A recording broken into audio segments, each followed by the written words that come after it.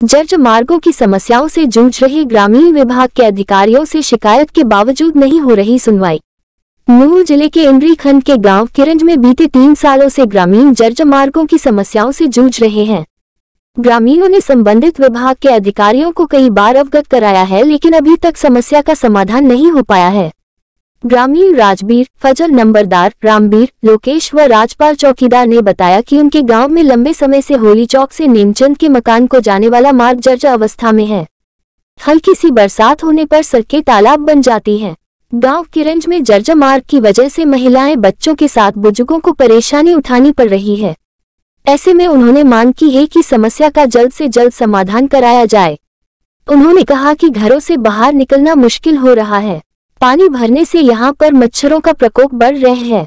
गाँव के लोगों में बुखार सहित कई प्रकार के रोग बढ़ रहे हैं, लेकिन अधिकारी पूरी तरह से बेपरवाह है, जिसका खामियाजा गाँव के लोग को भुगतना पड़ रहा है।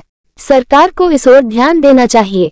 वही ग्रामीणों ने चेतावनी दी है कि उनकी इस समस्या का जल्द जल्द समाधान नहीं किया गया तो वह सरकार व प्रशासन के खिलाफ रोड पर उतरकर विरोध प्रकट करेंगे तथा प्रशासन के खिलाफ प्रदर्शन करेंगे।